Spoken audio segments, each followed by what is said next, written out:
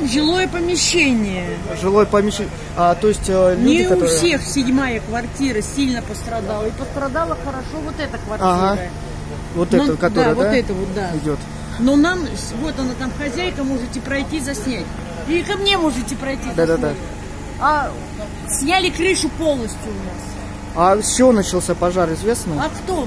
Мы что, специалисты? Ну, просто, может, кто-то этом- очевидец сообщил о том, что... Никакого. Я, я было. 10 минут 10 вечера пошла гулять с собакой.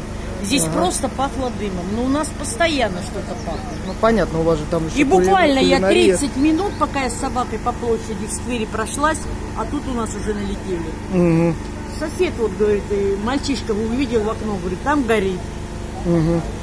И он вызвал пожарников. А Не я подозреваете поджог или что-нибудь в этом роде? уже- Ну как я могу говорить? Ну, понятно. Поджог да. или что?